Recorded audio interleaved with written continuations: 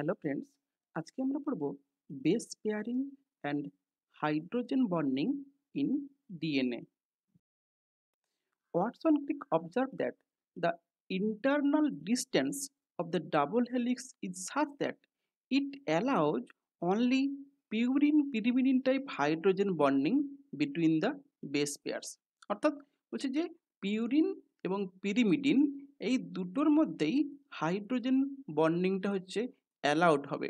কেন অন্যগুলো হবে না কেন? না purine purine base pair do not occur because they would be too large to fit অর্থাৎ এই যে পিউরিন পিউরিন এদের সাইজটা অনেক বড়। যার ফলে এরা অনেক কাছাকাছি থাকবে। এই অনেক কাছাকাছি থাকলে এফেক্টিভ হাইড্রোজেন বন্ডিংয়ের ডিস্টেন্স আনতে পারবে না এরা। এই জন্য এরা হাইড্রোজেন বন্ডিংয়ের জন্য ফিট হবে না।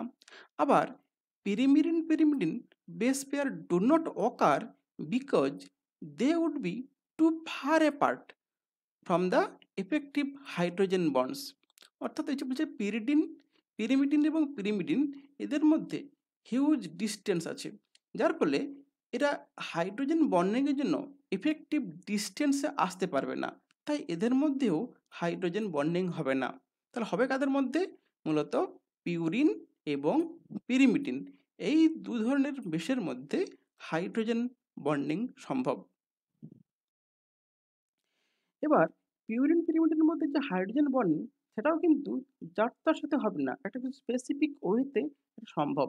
শুধুমাত্র অ্যাডিনিন থাইমিন এদের মধ্যে হবে, আবার সাইটোসিন অ্যান্ড গুয়ানিন এদের মধ্যেই হাইড্রোজেন বন্ডিং সম্ভব। কারণ কি?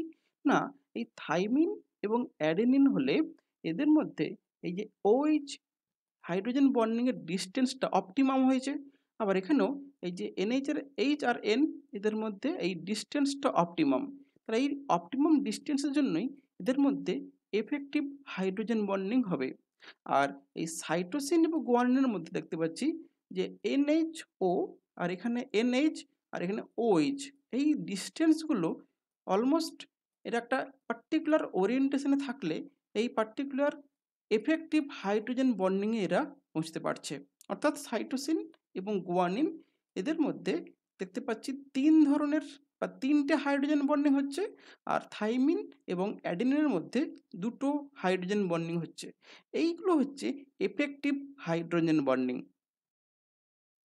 আমরা এদের ক্রিস্টাল স্ট্রাকচারতে দেখতে পাচ্ছি যে থাইমিন অ্যাডিনের মধ্যে এই দুটো গ্রুপের মধ্যে ডিস্টেন্স দেখো টু পয়েন্ট এইট অ্যাংস্ট্রম আর এখানে দেখতে পাচ্ছি থ্রি পয়েন্ট জিরো অ্যাংস্ট্রম অর্থাৎ এদের ডিস্টেন্স দুদিক, দুদিকের ডিস্টেন্স কাছাকাছি।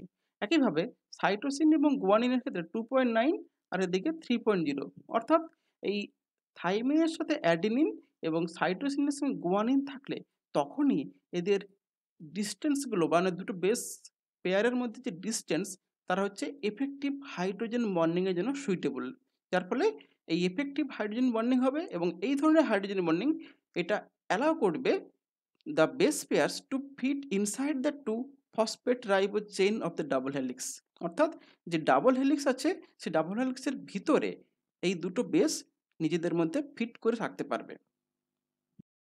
এই আমরা স্ট্রাকচার দেখতে পাচ্ছি যে এই হচ্ছে আমার এফেক্টিভ হাইড্রোজেন বন্ডিং গুয়ানিন এবং সাইটোসিনের মধ্যে তিনটা করে হাইড্রোজেন বন্ডিং হচ্ছে।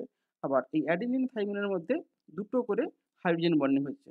তাহলে এই পার্টিকুলার এফেক্টিভ হাইড্রোজেন বন্ডিং হলে তখনই এই ডাবল হেলিক্যাল স্ট্রাকচার ভিতরের মধ্যে বেসগুলো ফিট করতে পারবে আর পেন্টোজ সুগার আর ফসফেটগুলো বাইরের দিকে থাকতে পারবে এবং ডাবল হেলিক্সকে একটা স্টেবল স্ট্রাকচার দিতে পারবে। আজকে একটু থ্যাংক ইউ